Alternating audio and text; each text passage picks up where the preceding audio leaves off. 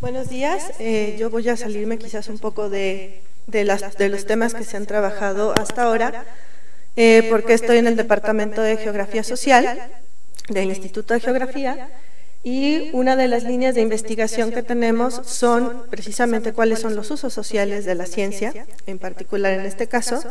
de las ciencias de la Tierra y en particular, el proyecto en el que estoy trabajando en este momento es la aplicación de conocimiento dentro de los atlas de riesgo municipales en México, que es un instrumento que se empezó a diseñar hace aproximadamente tres años, tiene un financiamiento fuerte del gobierno federal hacia los municipios porque se está obligando a los municipios a hacer planeación conforme a mapas de riesgo. Eh, las partidas fuertes que se han entregado a estos municipios han seguido procesos eh, políticos, en particular, que afectan de forma directa la forma como se utiliza el conocimiento para la planeación. Y entonces el proyecto de investigación en el que estamos eh, básicamente se enfoca en hacer una evaluación de eh, las condiciones financieras, económicas, políticas, institucionales que afectan la aplicación de conocimiento en ciencias de la Tierra en este tipo de ordenamientos e instrumentos de planeación. Bueno, la primera eh, diapositiva se enfoca sobre todo en conceptos muy básicos que tienen que ver con el análisis de riesgo, que sin embargo hemos notado que fuera de la universidad son un objeto de confusión constante, eh, porque la mayoría de los mapas, incluyendo eh, algunos de los preceptos de las guías metodológicas que siguen las secretarías, eh, tiene una confusión importante entre análisis de peligros y análisis de riesgo. Eh, la mayoría de los mapas que se solicitan en las guías metodológicas son mapas de peligros, lo cual implica que toda la información que tiene que ver con la gestión social, con las condiciones eh, socioeconómicas, infraestructura, capacidad de respuesta, no están integradas dentro de las cartografías, y por lo tanto em, hay, un, hay un mal manejo de, hasta, hasta de conceptos básicos. ¿no? En realidad, a lo que necesitamos llegar es un análisis de riesgo que implique eh, análisis de peligro que se combine con la exposición, que tiene que ver en gran parte con la distancia en la mayoría de las amenazas, así como con la vulnerabilidad social y las capacidades de respuesta. Solamente hasta que se integran esos cuatro elementos podemos hablar de análisis de riesgo y em, básicamente hasta las mismas guías metodológicas tienen una confusión en este sentido. ¿no? Esa es una de las, de las críticas a partir de las cuales planteamos este proyecto. Eh, en particular, lo que hicimos para, hacer, eh, para tratar de hacer esta evaluación a nivel nacional de cómo está funcionando la política de atlas de riesgos municipales fue eh, generar una muestra de los atlas de riesgo perdón, que financió lo que entonces era un departamento dentro de la Secretaría de Desarrollo Social, que ahora forma parte de otra secretaría nueva que se llama SEDATU, Secretaría de Desarrollo Urbano, Territorial y Agrario,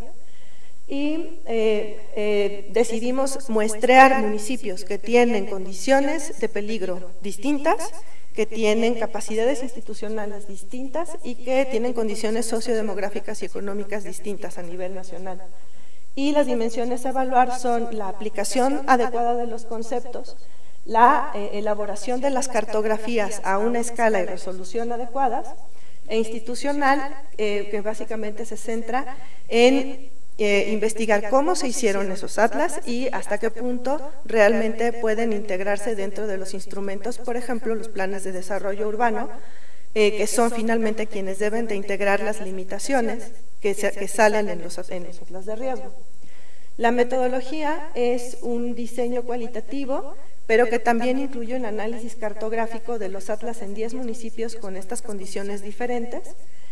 em, y en el cual básicamente vemos cuáles son dentro de las ciencias sociales los problemas de la regulación política y la evaluación del riesgo,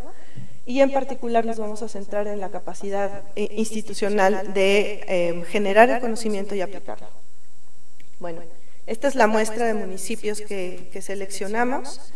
Eh, tenemos municipios que tienen eh, peligros de muy distintos tipos. Hay municipios que están sometidos a peligros volcánicos, peligros hidrometeorológicos de diversos tipos, este, que tienen manifestaciones diferentes como inundaciones, este, deslizamientos de ladera, eh, tenemos problemas, ciudades que tienen muchos problemas este, sísmicos, en fin.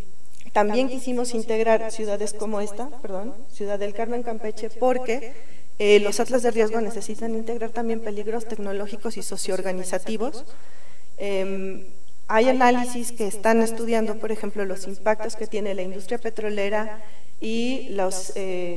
eh, digamos, la amenaza que hay a partir de cuestiones como explosiones, derrames de petróleo, que tampoco están integrados dentro de los atlas de riesgo, porque la mayoría de los atlas de riesgo se centran en peligros naturales.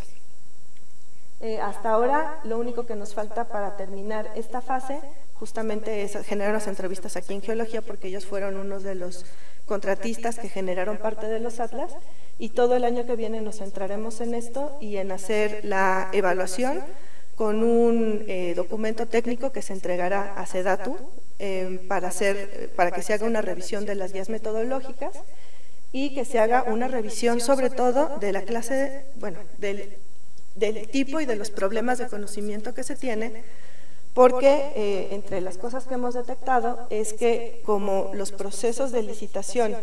se hacen con base en el contratista que da el mejor precio, no en el que está mejor preparado,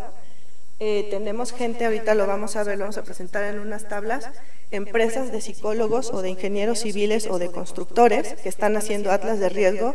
sin absolutamente ninguna certificación de carácter eh, científico. ¿no? Bueno, estos son los distintos componentes que estamos analizando.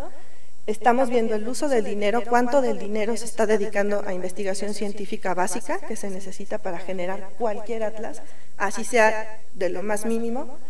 eh, cuánto se va a gasto corriente, cómo se distribuyen los recursos, eh, con cuánto tiempo eh, ¿Cuánto tiempo tienen para hacer los atlas? Normalmente las licitaciones se supone que son de un año,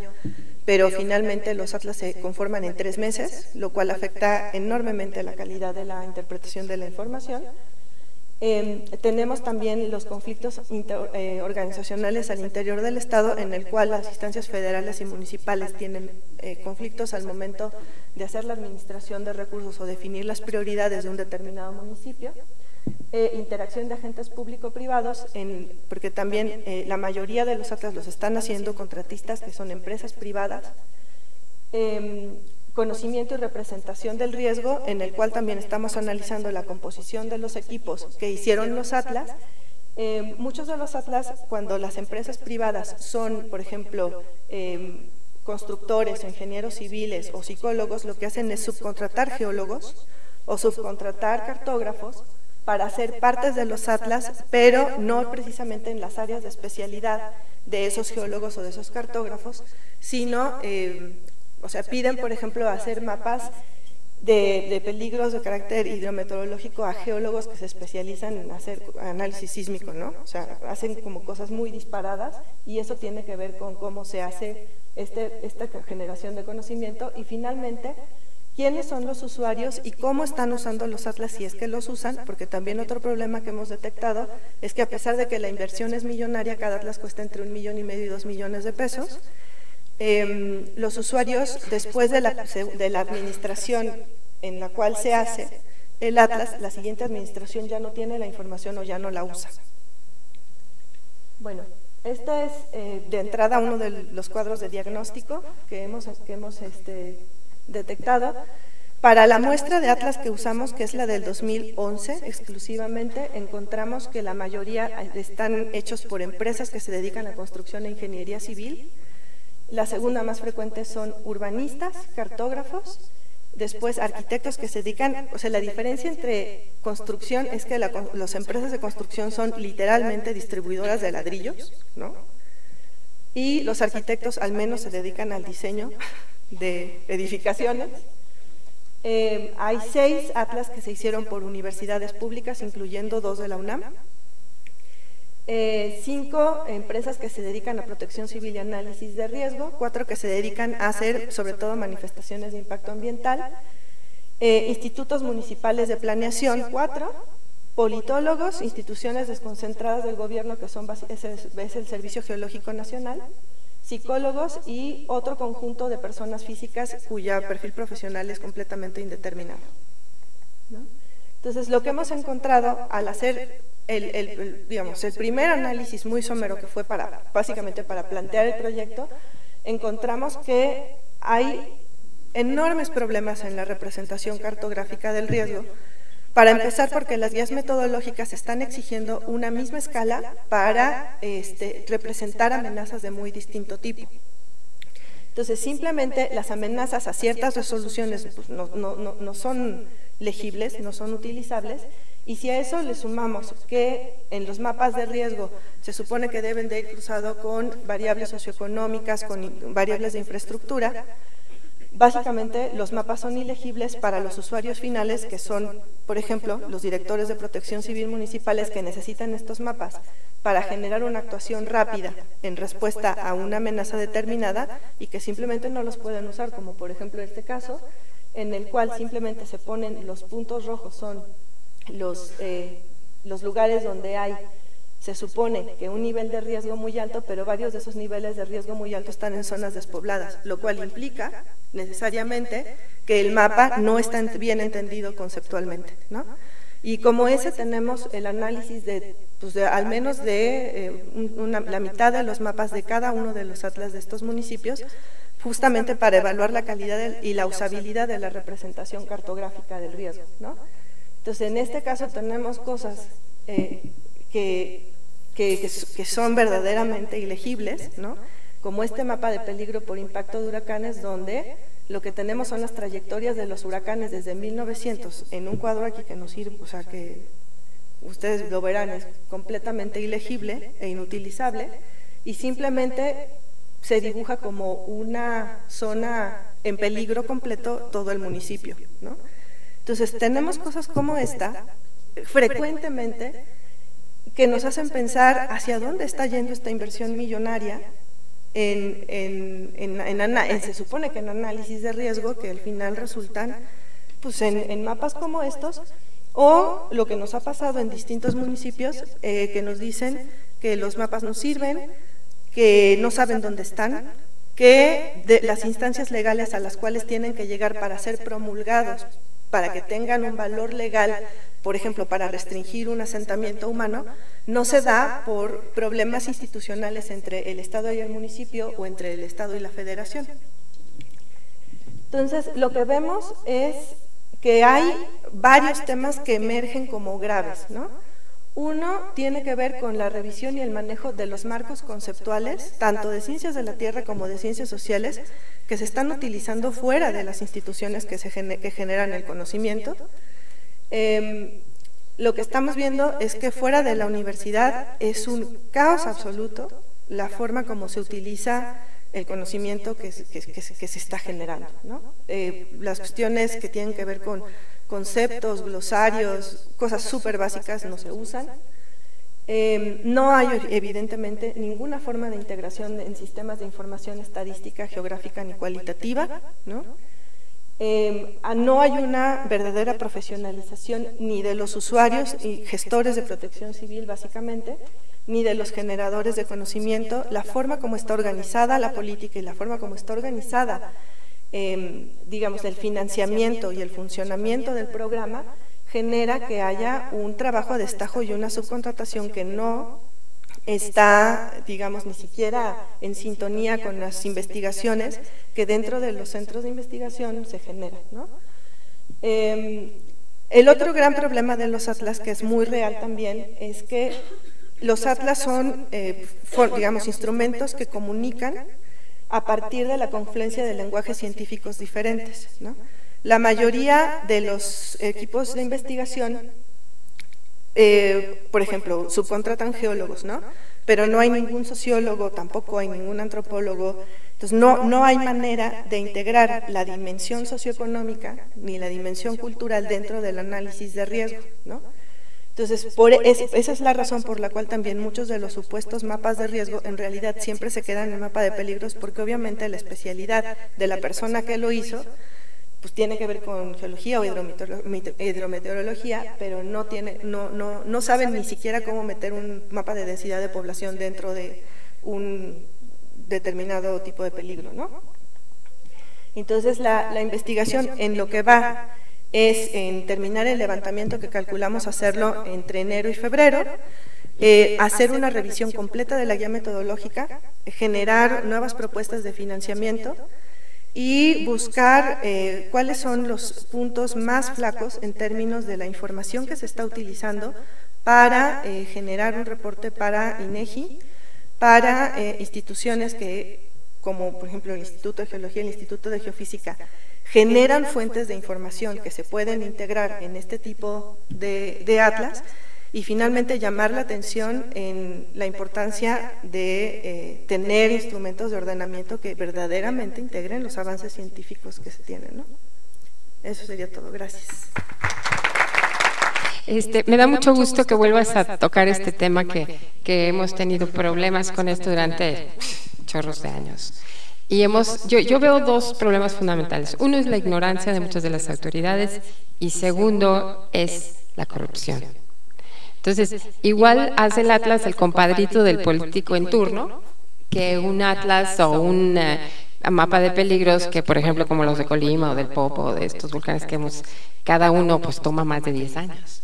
de estudios y todo eso. Yo te convidaría, y esto les hago mucho énfasis a mis estudiantes, de, tanto los de licenciatura como de posgrado,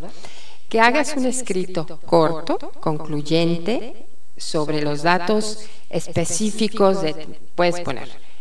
O sea, los políticos nada más leen cosas de un párrafo.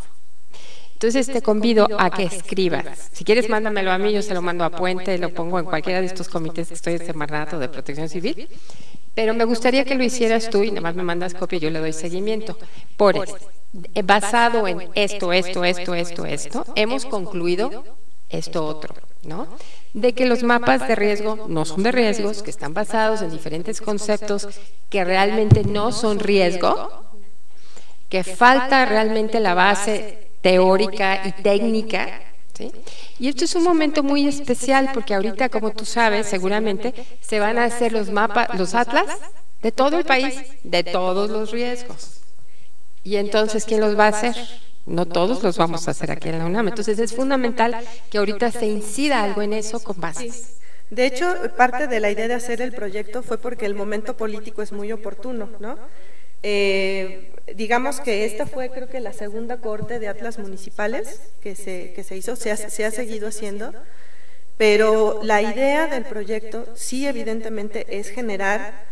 una crítica a la forma como se están licitando estos atlas, porque ahí es donde está uno de los puntos cruciales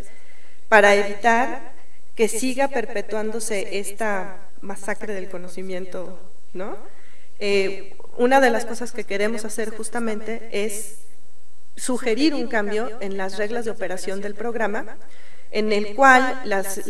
licitaciones se hagan a equipos que prueben tener conocimiento y experiencia interdisciplinaria en, cada uno, de, al menos de los tópicos más importantes que se tocan en cada municipio. ¿no? Eh, una de las cosas que queremos aprovechar es que todos los programas que tienen que ver con inversión en vivienda e infraestructura van ya están teniendo, de hecho, a partir de ahora, limitaciones en la inversión dependiendo del análisis de riesgo que se tiene.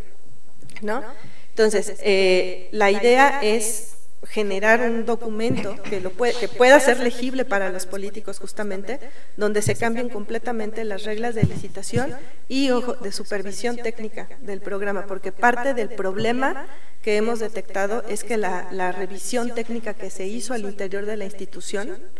fue bastante deficiente, ¿no? Y eso implica que hay atlas que pasaron que no cumplen con absolutamente ninguna lógica y atlas que no pasaron o atlas desafortunadamente que se pagaron y que nunca se entregaron. Que no, no tengo ahorita el dato, pero probablemente es un 40% más de los que ya están publicados. O sea, atlas que se pagaron y que no se entregaron. ¿no?